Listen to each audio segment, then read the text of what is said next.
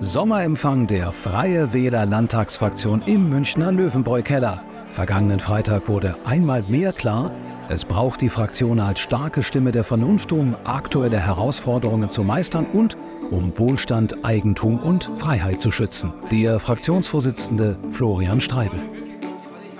Der Bürger entzieht also sagen wir, sein Selbstbewusstsein, Selbstvertrauen natürlich auch aus seinem Eigentum, das er auch für seine Altersvorsorge anschafft und das er auch seinen Kindern und Kindeskindern ja weitergeben möchte. Also von so her sind, sehen wir uns als Gruppierung der, des Eigentums. Aber jetzt heute an diesem Abend sehen wir natürlich auch mit großer Dankbarkeit zurück auf die letzten fünf Jahre, wo wir in der Regierung waren, wo wir einiges voranbringen konnten. Äh, und so bleibt es mir auch, dass ich jetzt mich auch bedanke an, bei meinen Mitarbeiterinnen und Mitarbeitern, die in diesen fünf Jahren natürlich Phänomenales geleistet haben. Rund 1000 Gäste aus dem ganzen Freistaat und sogar aus Rheinland-Pfalz folgten der Einladung der Landtagsfraktion nach München. Der Sommerempfang bot zahlreiche Gelegenheiten, um Bilanz zu ziehen. Ja, wir haben jetzt schon viel bewegt die letzten Jahre und ich glaube schon, dieses Vier-Augen-Prinzip in der Bayern-Koalition hat dem Land gut getan, dass eben nicht nur einer Ideen hat und Dinge entwickelt, sondern dass noch immer ein kritisches Gegenüber sagt, liebe Leute, das läuft in die falsche Richtung. Wir haben das Thema Wasserstoff gepusht, wir haben das Thema A13 durchgesetzt für die Lehrer, wir haben die 10H-Regel in der Windkraft geöffnet. All das wäre ohne uns nicht möglich gewesen und vieles mehr. Also wir tun dem Land gut und wollen gerne weiterhin dem Land Gutes tun. Weite Teile der parlamentarischen Arbeit wurden von Corona-Pandemie und Ukraine-Krieg bestimmt. Der Konsens an diesem Abend, jetzt ist eine Politik mit Vernunft und Augenmaß notwendig, die den Bürger mitnimmt.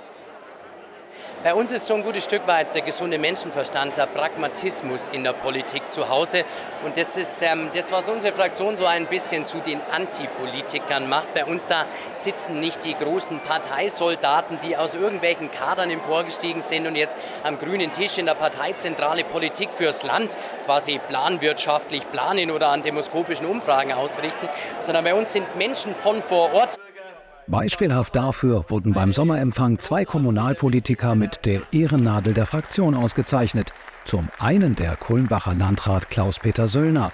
Er ist einer der dienstältesten Landräte Bayerns.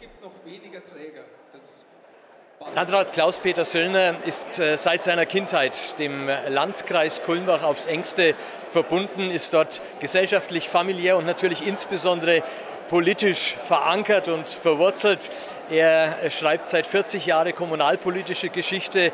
Er ist in seiner fünften Amtsperiode. Ich glaube, das gibt es nicht oft. Am Ende schreibt er 30 Jahre Landratsgeschichte und er hat äh, viel bewegt in dieser Zeit für die oberfränkische Region, für den Landkreis.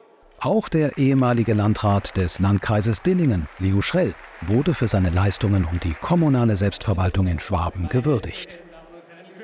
Und entscheidend ist für mich gar nicht so sehr, was er da gemacht hat. Glaube, das steht außer Frage, wenn nicht mal mehr die CSU im Freistaat Bayern überhaupt nur einen Mitbewerber stellt, dass er das, was er gemacht hat, gut gemacht hat. Entscheidend war für mich die Art und Weise und das hat ihn für mich zum persönlichen Vorbild gemacht, wie er das gemacht hat, mit der Art und Weise, wie er immer authentisch, immer bodenständig, immer verlässlich geblieben ist, trotz dieser vielen Funktionen und hohen Ämter und wie er vor allem Menschenfänger ist, wie er die Menschen für Politik herzensgängig begeistern kann.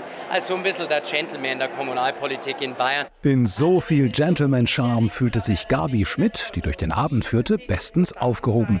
Aus Sicht der stellvertretenden Fraktionsvorsitzenden macht die Freie Wählerfraktion vor allem eines aus. Dass wir Herz haben, dass wir so leidenschaftlich sind, dass du nicht ähm, deine Parteikarriere ab 14 vorplanen kannst, dass du erst mal daheim was schaffen musst. Und das haben wir alle getan und dass wir ja, äh, mehr dafür tun müssen als in einer festen Parteistruktur. Und deshalb trennt sich da sehr früh der Spreu vom Weizen. Kurz vor der parlamentarischen Sommerpause geht es für die Freie Wählerfraktion in den Endspurt. Doch Müdigkeit kommt weder auf Sommerempfang noch im Maximilianeum auf. Im Gegenteil, gerade jetzt braucht es eine starke Stimme aus der politischen Mitte. Wir halten Wort.